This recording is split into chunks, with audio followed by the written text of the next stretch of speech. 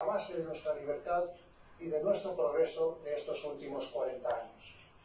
La reconciliación la concordia, el diálogo y el entendimiento, la integración